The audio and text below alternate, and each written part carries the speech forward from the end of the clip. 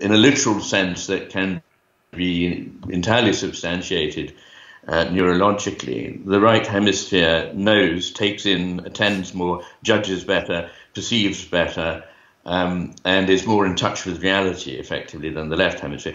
Interestingly, in the pop psychology, the version of things is that the left hemisphere is. Um, is this rather boring accountant-like figure that um, is at least reliable, uh, whereas the right hemisphere tends to be a bit uh, temperamental, a bit pink and fluffy, very creative, but needs anchoring by that good solid left hemisphere. Well, it turns out that's not the case at all. It turns out that in every respect, the right hemisphere is more reliable, more down to earth, more, well, it might be like this, but it might be like that. Ramachandran calls it the devil's advocate. In other words, it's the one that is able to see there might be another way of seeing this, where the left hemisphere, once it's stuck on an idea, is absolutely stuck with that idea. Okay. So we get people who who who are you know very much um, fixed in a worldview in which they think they know everything because they don't know very much, and they can't be dislodged from it. That's a worry. If I was listening to this podcast and I've just switched on, why why why does this matter? Why should I care? Well, you come across it every day in the way in which things are more and more bureaucratized. Essentially, the left hemisphere way of thinking is bureaucratic mentality.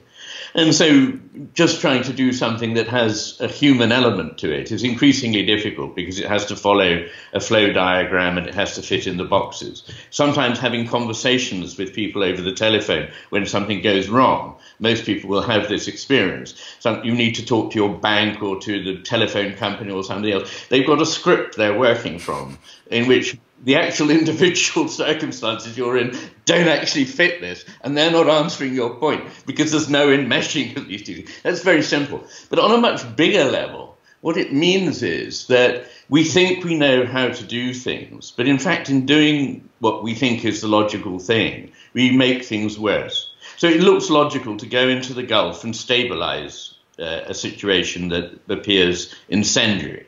In fact, what we do is massively destabilize. We think we could control the stock markets. Many Nobel Prize winning economists thought this, so that there will never be another crash.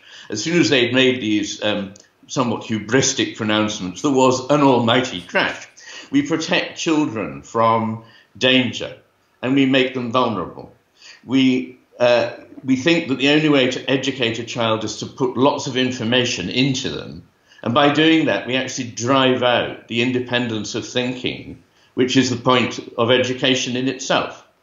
We protect ourselves from germs because it looks logical and make ourselves so vulnerable that we're, const- we're constantly falling ill. So, I mean, these are just simple examples in daily life of how a kind of apparently rational way of thinking that just sees one little thing and goes for it leaves out all the complexity of the big picture, which you really ought to take into account if you're going to understand how to behave as a rational person.